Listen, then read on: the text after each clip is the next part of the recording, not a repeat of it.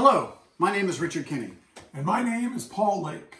I spent my 33-year teaching career entirely in Clovis Unified, teaching middle school and high school science, and I spent about one-third of my career on the Faculty Senate.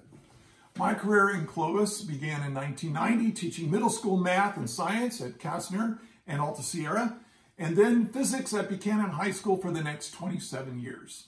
We both retired in 2020. Both of us were there with you, uh, teaching remotely for the last three months of that year during the beginning of the COVID-19 pandemic. We loved working in Clovis. The energy, the camaraderie, the drive to improve um, and enhance our performance every year. Like so many of you, we invested 100% of our mind, body, and spirit into enhancing the lives of our students through our teaching practice and co-curricular activities such as Science Fair, Science Olympiad, and robotics.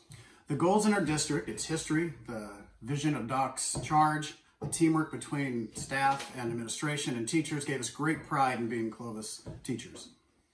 We deeply appreciated the support of the community from the governing board, administrators, parents, and our fellow teachers and supporting staff. We felt like we were part of a team, supporting each other as we worked uh, to offer a safe, fun, and challenging learning environment for our students.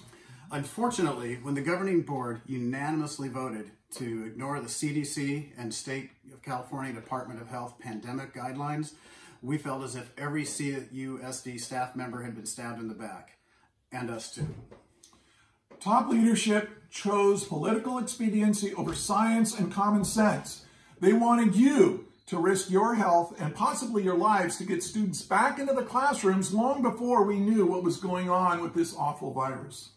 I was stunned at this foolish decision and immediately knew that teachers, staff needed more representation beyond the Faculty Senate.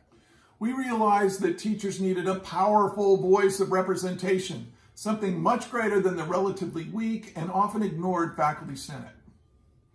So where do we go from here? How can teachers be represented with a powerful voice so that our health, our compensation, and our working conditions allow us to serve our students and to raise our families? What's the answer? ACE! ACE is the answer! Thank you. Duh! Yeah! Heck yeah.